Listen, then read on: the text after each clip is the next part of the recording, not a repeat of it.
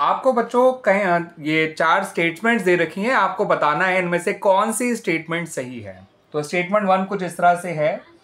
Investments in shares are excluded from cash and cash equivalents यानी investment in shares को cash and cash equivalent से दूर रखा जाता है unless they are in substance cash equivalents यानी कि अगर वो इसी पर्पज से एक्वायर करी गई हैं कि इनके तुरंत ही बेचना है ठीक है ना बच्चों?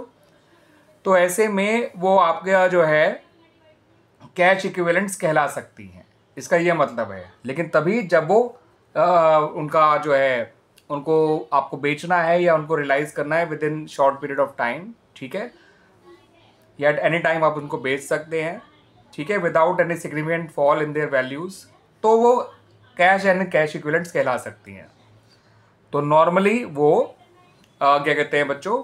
कैश एंड कैश इक्विलेंट्स में नहीं आता इन्वेस्टमेंट शेयर्स उसको हम इन्वेस्टमेंट इन नॉन करंट ऐसे इन्वेस्टमेंट मानते हैं आमतौर पे, और वो इन्वेस्टिंग एक्टिविटीज़ में शो किया जाता है. कैश एंड कैश इक्विवेलेंट में शो नहीं किया जाता। तो इनकी बात बच्चों यहाँ पर बिल्कुल सही है। ये करेक्ट स्टेटमेंट है।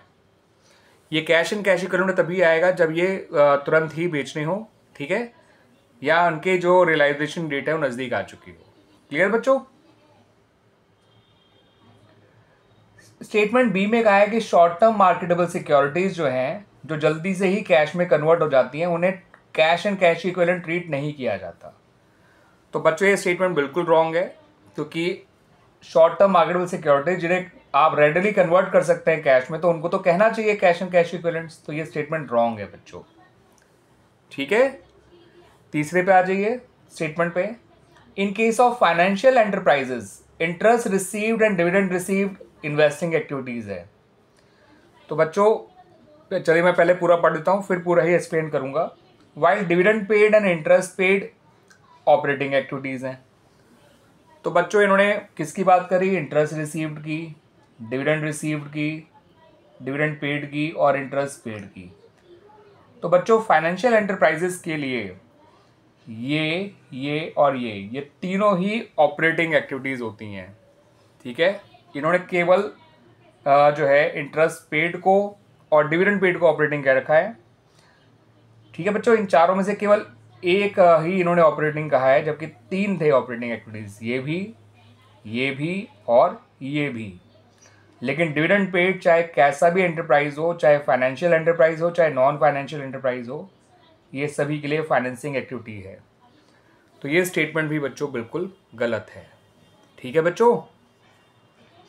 तो it is also wrong statement last है कि provision for tax made during the year should be classified as an outflow from operating activities यानी कि जो प्रोविज़न फॉर टैक्स बनाया गया है ड्यूरिंग द ईयर याद रखिएगा बच्चों, इन्होंने ये नहीं कहा कि पे किया गया है, इन्होंने कहा बनाया गया है ड्यूरिंग द ईयर उसको क्लासीफाई करना चाहिए एज आउटफ्लो ठीक है बच्चों?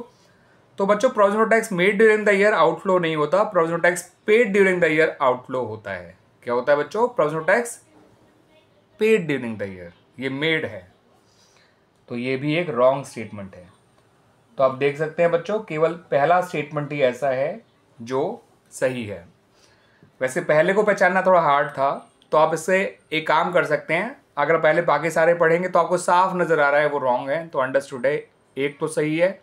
तो फिर वो पहला ही सही होना चाहिए था और कौन सा होता? है ना बच्चों? तो कई बार इस तरह से भी ट्रिक लगा के आप सही चीज़ पहचान सकते हैं। अगर वो सही पहचानने में दिक्कत आ रही है तो गलत को पहचानना शुरू कर दीजिए। ठीक है? सही अपने आप मिल जाएगा। क्लियर बच्चों? आगे सुनिए मेरी बात।